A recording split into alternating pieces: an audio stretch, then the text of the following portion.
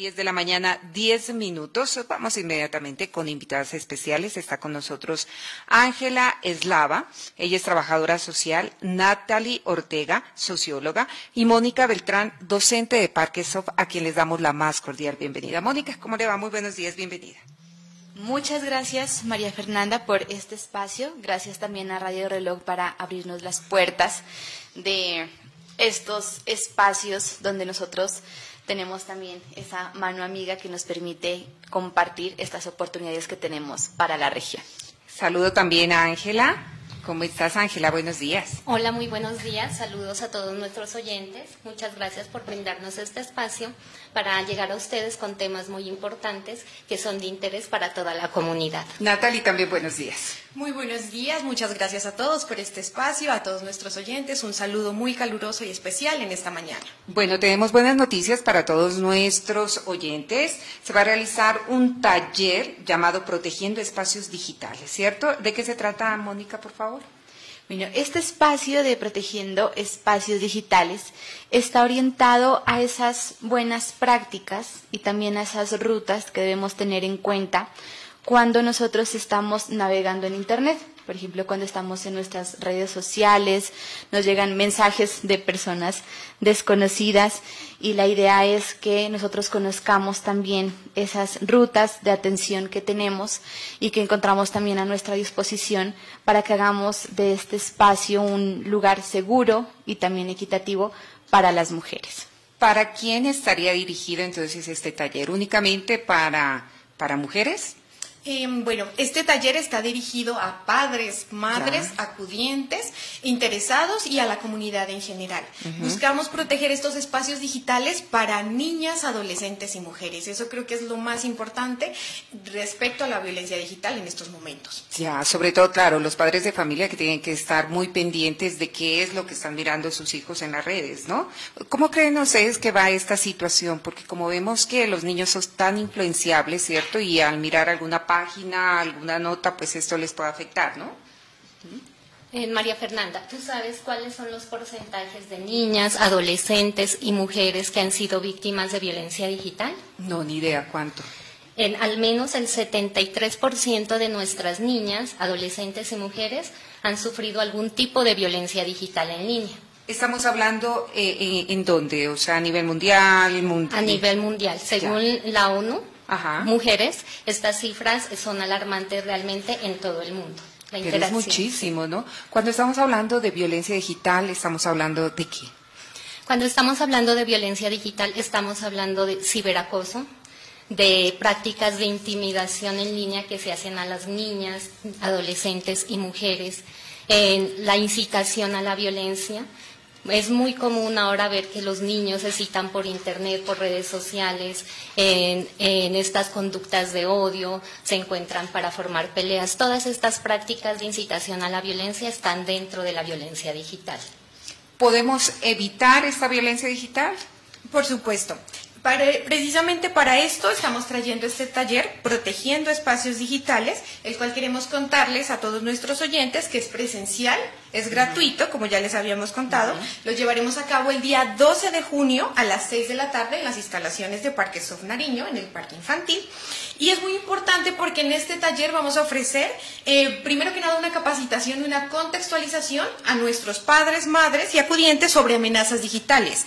Posteriormente, una comunicación asertiva para crear con estos padres y con sus hijos una confianza para que ellos puedan comunicarse y asimismo darle a ellos herramientas de estrategias de protección y también proporcionarles los canales de atención y de denuncia a nuestros padres de familia. Ah, perfecto. Eso es importantísimo que los padres de familia sepan dónde denunciar, ¿no?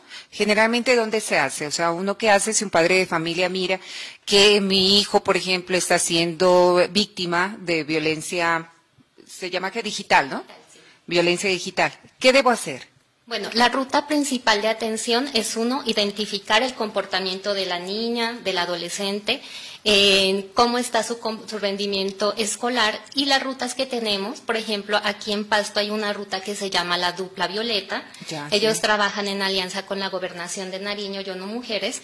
En esa ruta podemos denunciar también en las páginas de Fiscalía en digitales del CAI virtual de la policía y también está una página que se llama Yo me protejo o Te protejo, que está dirigida a los padres, es muy interactiva, donde ellos pueden denunciar estas prácticas, especialmente con las niñas.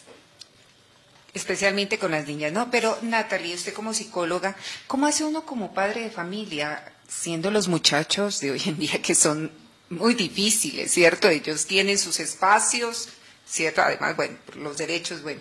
Y uno no puede acceder ni a su computador ni a, ni a su celular. ¿Cómo uno puede, eh, no sé, enterarse que, que el muchacho está siendo víctima?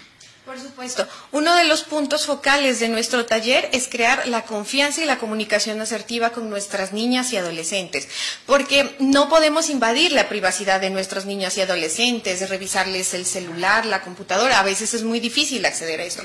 Lo que sí podemos crear en ellos es la confianza. La confianza, exactamente. La confianza hacia padres, hacia madres, hacia acudientes, para que ellos tengan la confianza de poder comunicar qué les está sucediendo, qué les está pasando y así juntos puedan encontrar las herramientas adecuadas para buscar una solución. Esa es la parte más importante del taller, darle a los padres esas herramientas para que ellos puedan llegar a los jóvenes, escucharlos también, mantener con ellos una escucha activa y que puedan solucionar estos inconvenientes. ¿Hay muchas denuncias con respecto a violencia digital? Sí, hay muchas denuncias. Y debe ser que otras no denuncian también, ¿no? Los muchachos, las niñas se quedan calladas, ¿no? Exactamente. Muchas veces la violencia digital también está asociada a temas de vergüenza. Eh, muchas veces la víctima por vergüenza no denuncia. O eh, tenemos los casos, por ejemplo, que han sido denunciados. En Colombia no existe como tal una pena que que establezca lo de la violencia digital, pero sí hay sanciones a la, a la, extorsión, a la intimidación, a la suplantación de identidad digital. Entonces, por ejemplo, mirábamos cifras como el 40% de nuestras niñas y adolescentes han sido acosadas en línea. un 65% de esta población es intimidada digitalmente. Entonces, son cifras que nos revelan la urgencia de actuar tanto como padres de familia, también como educadores, crear unas redes de apoyo que a ellos les permitan tener esa confianza para denunciar. Claro. Eh, Mónica, ¿cómo hacen las personas para inscribirse en este taller que lo aclaramos totalmente gratis? ¿Y hay muchos cupos o la gente pues tiene que inscribirse lo más rápido posible? Bueno, en cuanto a los cupos, sí los invitamos a que aprovechen, se inscriban. Nosotros vamos a tener nuestra línea de atención activa para que ustedes nos puedan contactar al 318-889-6694. Vamos a estar muy pendientes de sus llamadas. 318-889-6694 para que podamos hacer la inscripción, para que ustedes también se comuniquen con nosotros, tomar sus datos, para también poder hacer los recordatorios. Los cupos son limitados, así que los invitamos a que se comuniquen con nosotros y separen su cupo. Ahí está, entonces la información, recordemos la fecha, por favor, Mónica. Eh, la fecha es 12 de junio. 12 de junio, ¿qué día cae?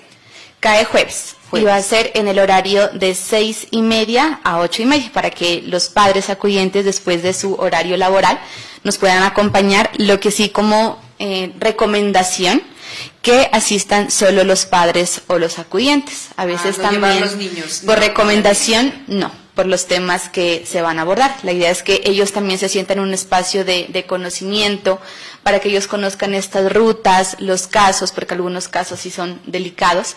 Que para se sientan más libres, ¿no? se sientan libres de, opinar, de hablar, de contar, de, de, estar como en esos espacios de aprendizaje y de pronto eh, ya cuando estén en sus hogares digan, bueno, tengo este conocimiento y lo puedo aplicar de esta manera con mi hijo o hija.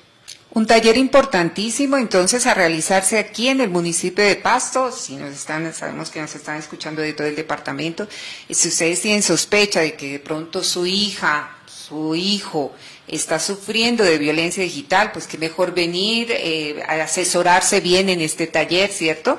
Eh, conocer las rutas que deben seguir, cómo manejar este tema, me parece importantísimo para después evitar eh, pues cosas peores, ¿no? Porque lastimosamente pues hemos visto que los muchachos ya no saben en un momento cómo manejar la situación y toman decisiones terribles, ¿cierto, eh? Por supuesto, es muy importante que los padres, las madres tengan las herramientas para saber qué hacer en estos casos. No esperemos a que nuestro hijo, a que nuestra hija le estén sucediendo estas cosas para poder conocer. Aparte es muy importante asistir porque esta información la podemos replicar con nuestras hermanas que también tienen sus niños, con nuestras amigas que tienen sus niñas en el colegio, con las docentes, los docentes, para que ellos también sepan y conozcan más de este tema. Bueno, pues Ángela, Natalie, Mónica, muchísimas gracias por haber estado con nosotros. Antes de despedirme, eh, Mónica, ¿cómo les ha ido con el Centro de Inteligencia Artificial? ¿no? Hace poquito se inauguró el primer Centro de Inteligencia Artificial en eh, Latinoamérica, ¿no? El primero en Latinoamérica y escogieron a Parque So, precisamente de aquí, el municipio de Pasto. ¿Cómo les ha ido? Bueno, nosotros hemos tenido una muy buena acogida este Centro Poeta de Inteligencia Artificial es una gran oportunidad para nosotros también seguir con estos procesos de acompañamiento también a la parte urbana, también como rural. Estuvimos en el municipio de Tangua llevando talleres de apropiación digital. También realizamos la inscripción al curso de marketing 365 para emprendedores, empresarios, el cual también ya va a iniciar. Tenemos un grupo de 178 personas entre la parte virtual. Hay, hay chance para inscribirse? Las inscripciones ya, se, cerraron, pero igual muy pendientes a nuestras redes sociales para que conozcan más oportunidades. Entonces también es un curso que ya está dando rueda. También tenemos cursos que están orientados a Power BI. Tenemos un, grupo de inscritos de 31 personas, entonces también esas, esas inscripciones sí, siguen rodando para que ustedes eh, se comuniquen con nosotros o puedan acceder a nuestras redes sociales. Adicionalmente tenemos un curso que está orientado a creadores de contenido. Entonces estamos en ese proceso de inscripción para que las personas puedan asistir al Centro Poeta de Inteligencia Artificial y conocer sobre estos temas y herramientas de vanguardia.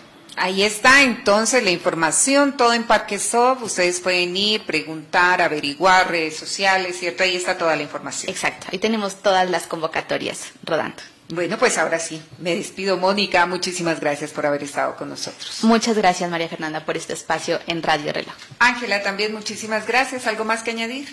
No, muchísimas gracias. Solo recordarles a todos los padres de familia interesados que la participación es clave para construir un futuro digital más seguro para todas. Los esperamos. Natalie, gracias. Muchas gracias a ustedes que nos están escuchando y los esperamos muy contentos y muy felices de que hagan parte de este taller.